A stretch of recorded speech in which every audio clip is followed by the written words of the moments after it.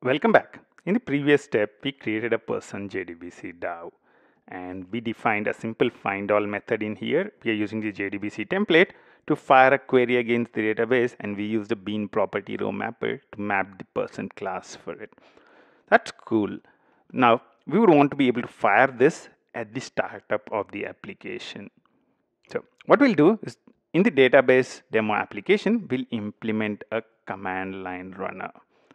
So command line runner is one of the interfaces which is present in Spring Boot. This would be launching up. When I implement a command line runner, then this code which we write in a specific method that would be launched up as soon as the application context is ready.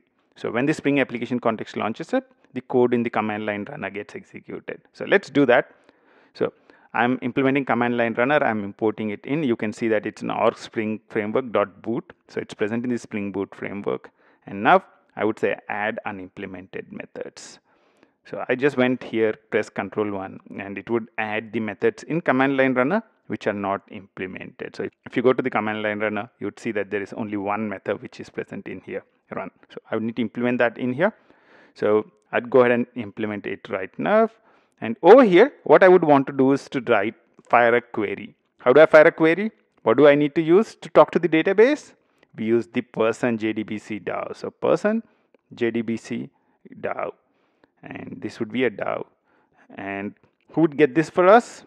Spring would get it for us and auto wire it in. So I'll say at auto wired import, please change to that.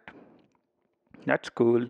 And now I can use the DAO to fire a query. So DAO dot find all. This will return the list of values back. So I would want to print that to the console. I would need a logger. So let's define a logger. Private logger logger is equal to logger factory dot oops factory dot get logger for this specific class. And that's let's organize the imports. I would want to use the SLF4J one and now I can say logger dot info I'll log this at info level and I would say all users and oops I would want to print the value in here of the DAO dot find all. What does the logger do? It takes this value and replaces the first occurrence of this variable template. So let's format the code a little bit.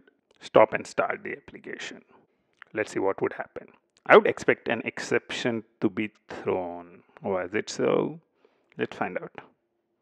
Okay, there is a exception that is being thrown and if you look at it, it says no such method exception and it says person.init empty. So actually whenever I'm using a bean row mapper, so what we are using in the JDBC is a bean property row mapper. And whenever I use a bean property row mapper, the bean on which the bean property row mapper is defined should have a no argument constructor. So I need to create a simple no argument constructor. One of the things is this is the default one which is provided by Java. So if this constructor was not there, this is provided by default. So I don't need to provide this at all. But since we provided this constructor, Java would no longer provide the default no argument constructor. So I need to provide that right now. So I'm just initializing a default no argument constructor and restart the application again. Actually start the application because last time the start failed. Let's see what would happen now. The application started up and when I look at whatever is printed, it says all users and it's printing the person hash code stuff. So there are three persons printed, but it's printing the hash codes of it. How can I avoid that? I'd want to see the real values of person. I hate the hash code stuff. How do I do that? All that I need to do is generate the toString. So again, right click source generate toString, generate toString, and I would want to include all the fields. That's fine. Go ahead and do that, please. So this would generate a person, but each person I would want to actually print it in a new line. So I'll say slash n. This would make sure that the details are printed on a new line and it's easily more visible in the log. Now let's stop and restart the application. Ah, okay, this is the reason I had a slash n because I don't need to scroll anymore. So all the new persons are printed on new line. So you can see all the details that are populated for the person. You can see that the data is retrieved from the database. I'm able to see the data which is present in here.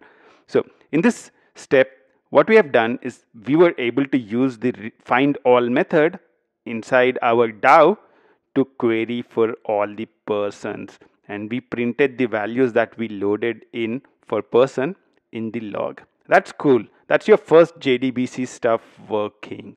So what we did in this example is we used Spring JDBC to execute a query and print the results of that query.